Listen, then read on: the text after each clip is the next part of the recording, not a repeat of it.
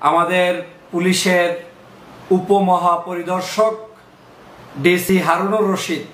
আপনারা নাকি আমার এই আলেমকে জিজ্ঞেস করেছেন? আলেম নাকি কোনো কথারই সঠিক জবাব দিচ্ছে না? তিনি নাকি স্বপ্নের বিভিন্ন বিষয় নিয়ে সময় ক্ষেপণ করেছেন আপনাদের সাথে। আপনাদেরকে নাকি সঠিক কোনো তথ্য দিচ্ছে না? আমি প্রশ্ন রাখতে চাই, আপনাদের কাছে সঠিক তথ্য কেন দিবে সে? কি কারণে আপনার কাছে সঠিক তথ্য তিনি দিতে যাবেন? কি তথ্যের জ্ঞান আপনার কাছে আছে? আমাদের পুলিশের উপমহাপরিদর্শক ডিসি হারুনুর রশিদ, তিনি তার বক্তব্যে বিভিন্ন জায়গায় আমাদের মুফতি হজরত মাওলানা ইব্রাহিম সাহেব সম্পর্কে কুরুচিপূর্ণ মন্তব্য এবং বক্তব্য দিয়েছেন।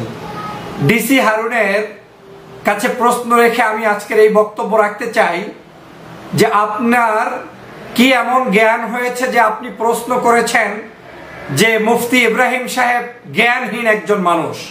আমি আপনার বক্তব্য পুরোপুরি শুনেছি। একজন জ্ঞানদীপ্ত বাংলাদেশের যেই আলেম, তার কোরআনের জ্ঞান দিয়ে, হাদিসের জ্ঞান দিয়ে হাজার হাজার মানুষকে আলোকিত করেছে, লক্ষ লক্ষ মানুষকে আলো আলোর পথ দেখিয়েছে।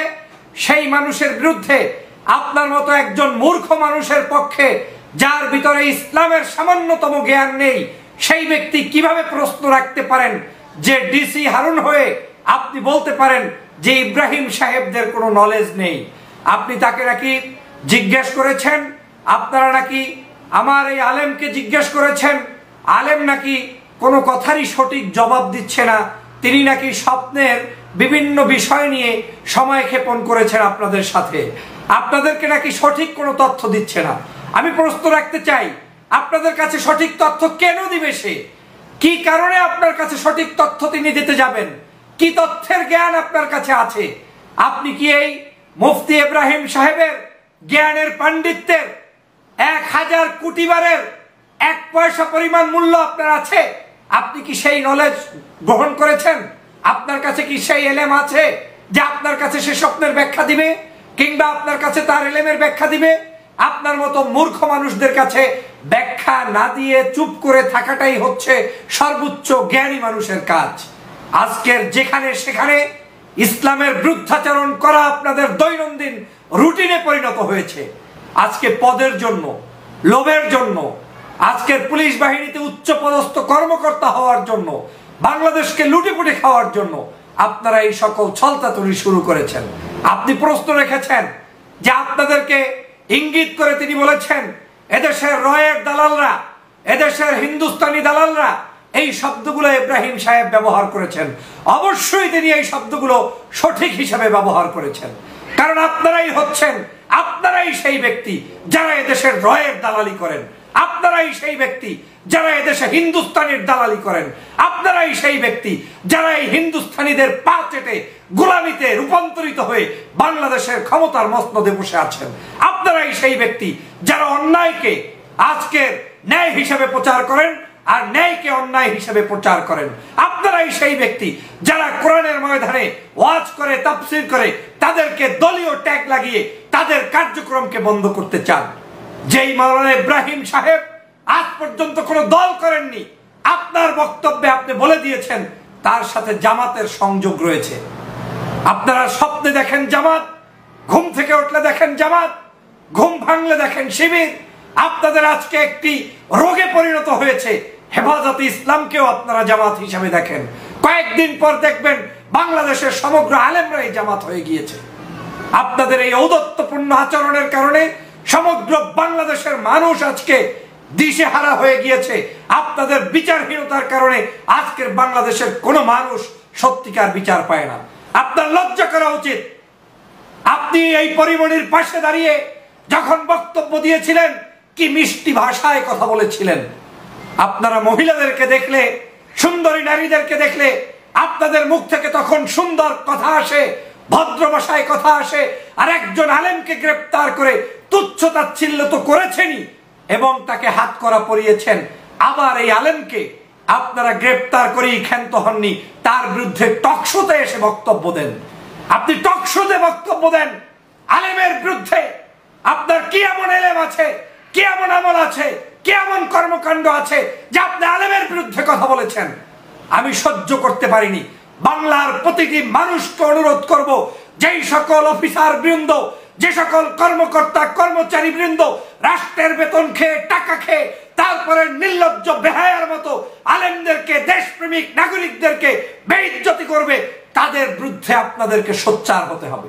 কথায় কথায় বলেন, আপনাদের বাংলাদেশে তারা সন্ত্রাস সৃষ্টি করছে। কথায় কথায় বলেন, তারা বাংলাদেশে কোরআন, সুন্নার ভুল ব্যাখ্যা দিচ্ছে। আপনি কোরআন, সুন্নার কয় লাইন মুখস্থ করতে পারেন? আপনি আমি বাংলাদেশের কতখান কোরআন, হাদিস মুখস্থ করেছি? নিজের কাছে প্রশ্ন করুন। আপনাদের মতো মানুষদের জন্যই আজকে আলেমদের এই দশা হয়েছে। আপনাদের মতো মানুষদের জন্যই বাংলাদেশটা আজকে বিক্রি হয়ে গিয়েছে। আজকের এই শায়েখ, তিনি তার শেষ সময়ের যে বক্তব্য দিয়েছেন, আপনি সেটা নিয়েও কটুক্তি করেছেন। যখন গ্রেপ্তার করা হয়েছে, তার আগে মুফতি ইব্রাহিম সাহেব যে বক্তব্য দিয়ে গিয়েছেন সেটা একটি জাতির জন্য দিক নির্দেশনামূলক বক্তব্য ছিল, তার এই বিশ মিনিটের বক্তব্য আমাদেরকে আন্দোলিত করেছে, সমগ্র জাতিকে ঐক্যবদ্ধ করার জন্য একটি প্ল্যাটফর্ম তৈরি করেছে তার বক্তব্য। আপনি তার বক্তব্যের বিশ্লেষণ কি বুঝবেন?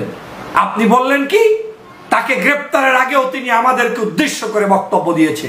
অবশ্যই দিয়েছে। বাংলাদেশের প্রত্যেকটি তন্দ্রে তন্দ্রে আজকের প্রত্যেকটি প্রশাসনিক কর্মকাণ্ডগুলো পরিচালিত হচ্ছে ভারতের মদত পুষ্ট রয়ের দালালদের দ্বারা। আজকের বাংলাদেশের সমগ্র জায়গায় চাকরিতে, বাকরিতে প্রশাসনে কর্মকর্তা, গোয়েন্দা ডিপার্টমেন্ট সমগ্র জায়গায় আজকে আপনাদের এই রয়ের দালালদের ছড়াছড়ি। দুই ধরনের দালাল বসবাস করছে। এক আপনাদের মতো পরিচয়হীন কিছু নাগরিক যারা বাংলাদেশে দালালি করে, ভারতের তাবেদারি করে, তারপরে আপনারা আমার দেশের বিরুদ্ধে কাজ করছেন। আরেকটা দালাল হচ্ছে যারা সরাসরি ভারতের নিয়োগপ্রাপ্ত দালাল। অতএব তাদের বিরুদ্ধে সোচ্চার হতে হবে। তাদের বিরুদ্ধেই জিন্দাবাদের স্লোগানকে বাস্তবায়ন করতে হবে। সেটাই মুফতি ইব্রাহিম সাহেব বলেছেন। আমি দায়িত্বহীন ভাষায় আপনার এই বক্তব্যের প্রতিবাদ করলাম। আমি দায়িত্বহীন ভাষায় আপনাদের এই বক্তব্যকে প্রত্যাহারের অনুরোধ জানাই। আলেমদের সাথে আর কখনো বেদবি করবেন না।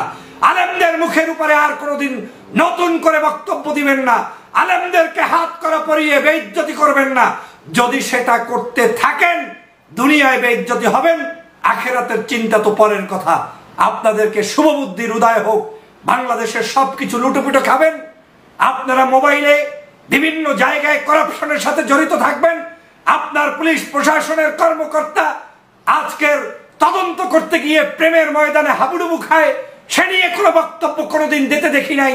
আপনার সাকলাইন সাহেবরা নির্লজ্জ বেহায়ার মতো আজকের বাংলাদেশে বসবাস করে, সে নিয়ে কোনো বক্তব্য নেই। আপনার পুলিশ যারা আজকে আমার সেই আর্মির, সেই মেজর সিনহাকে হত্যা করেছে, সে নিয়ে কোনো বক্তব্য নেই। আপনার দেশের মানুষ যারা গুম করেছে, হত্যা করেছে, নির্যাতন করেছে, তা নিয়ে কোনো বক্তব্য নেই। বক্তব্য আসছে আজকের এই ইব্রাহিম সাহেবদেরকে নিয়ে। দাঁত ভাঙা জবাব দিতে হবে। প্রস্তুত থাকুন। আপনাদের বিরুদ্ধে গর্জে উঠবে বাংলার সতেরো কোটি জনগণ, ইনশাআল্লাহ।